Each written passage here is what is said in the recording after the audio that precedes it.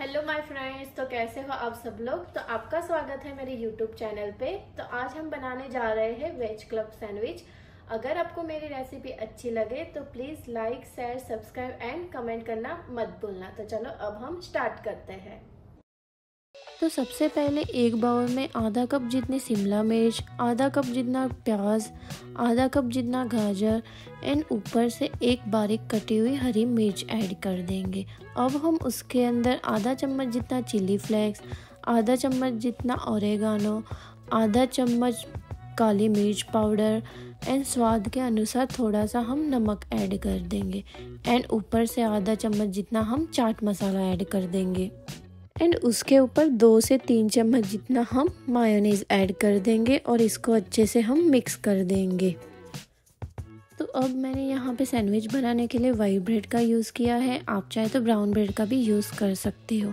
And उसके ऊपर हमने जो मेयोनीज का मिक्सचर बनाया था, वो अब हम अच्छे से स्प्रेड कर देंगे। अब हम दूसरी ब्रेड ले लेंगे और इसके ऊपर हम टमाटो केचप लगाएँगे और इसको अच्छे से स्प्रेड कर देंगे। तो एक ब्रेड पर हमने मेयोनीज का मिक्सचर लगाया और एक ब्रेड पर हमने केचप लगा दिए। अब हम जिस ब्रेड के ऊपर केचप स्प्रेड किया है, उसके ऊपर कटी हुई ककड़ी, टमाटर एंड प्याज ऐड कर देंगे।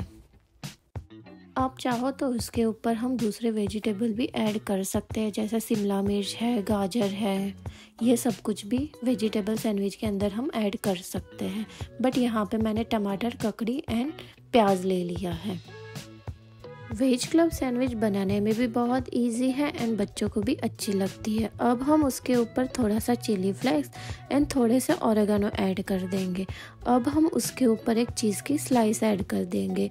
अगर आपको चीज़ अच्छा नहीं लगता है तो आप स्किप भी कर सकते हो। अब हम ये वाली ब्रेड को इसके ऊपर रख देंगे। एंड यहाँ पे मैंने एक स्लाइस चैडर चीज़ का यूज़ किया है। अगर आप चाहे तो दो स्लाइस भी ऐड कर सकते हो। अब हम तीसरी ब्रेड ले लेंगे और इसके ऊपर हम बटर लगा देंगे। बटर लगाना भी ऑप्शनल है। अगर आपको अच्छा नहीं लगता है तो आप इसको स्किप कर सकते हो। अब हम एक तवा ले लेंगे। तवा के ऊपर थोड़ा सा हम बटर ऐड कर देंगे। बटर थोड़ा सा गर्म हो जाए, उसके बाद हमने जो सैंडविच बनाई थी, वो अब हम रख देंगे। अब हम उसके ऊपर थोड़ा सा बटर ऐड कर देंगे ताकि हमारा चीज़ है, वो अच्छे से मेल्ट हो जाए एंड हमारी सैंडविच है, वो अच्छे से क्रिस्पी हो जाए। इसको हमें ज़्यादा हाई फ्लेम पे टोस्ट नहीं करना है, इसको हमें मीडियम फ्लेम पे टोस्ट करना है। हाई फ्लेम पे आप टोस्ट करोगे तो हमारी सैंडविच का कलर ज़्यादा ब्राउन हो जाएगा और अंदर से चीज़ मेल्ट नहीं होगा। इसलिए इसको हमें मीडियम आँच पे अच्छे से टोस्ट कर देना है। तो फाइनली हमारी सैंडविच रेडी हो गई है तो अब हम इसको निकाल के कट कर देंगे एंड इसको सर्व कर देंगे।